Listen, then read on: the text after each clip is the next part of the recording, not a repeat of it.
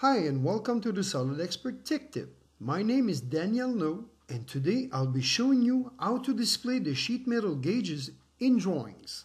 First make sure that you get your part and your drawing open in SOLIDWORKS. Then create or open your steel gauge table. Don't forget that all the gauges that you're going to create in that table must be set from the smallest to the biggest thickness in that order. Then create a text file that will contain an equation that we're going to be using in SOLIDWORKS.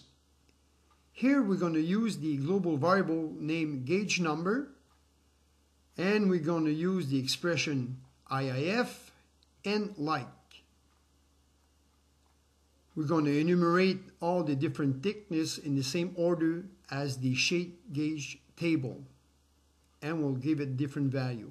What the equation will do, it, it will compare the global variable thickness that is created automatically in your sheet metal part in SOLIDWORKS. It will compare, like I said, the thickness. If it finds the corresponding thickness, it will assign a value to the global variable gauge number.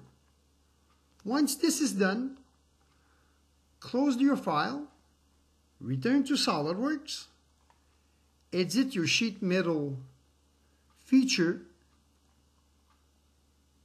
and use your gauge table that you've created.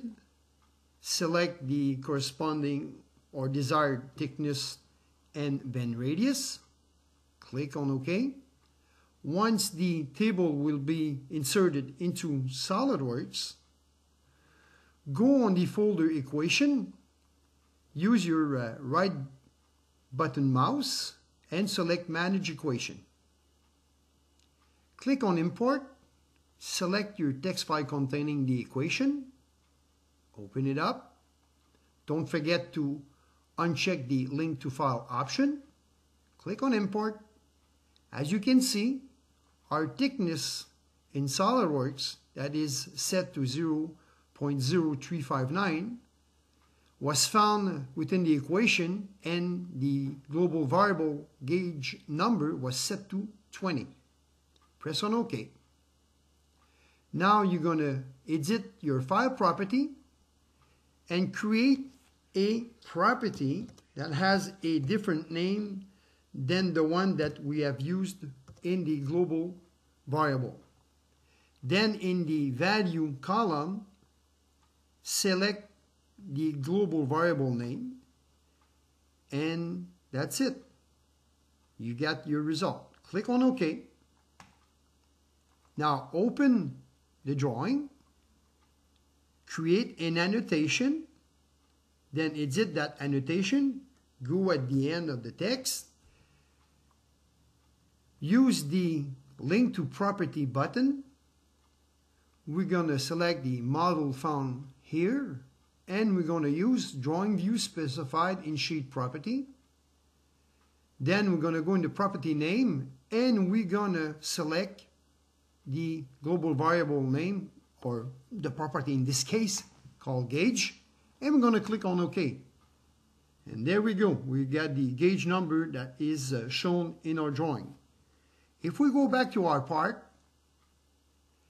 and we edit again the sheet metal feature and we select a different thickness and bend radius, we click on OK.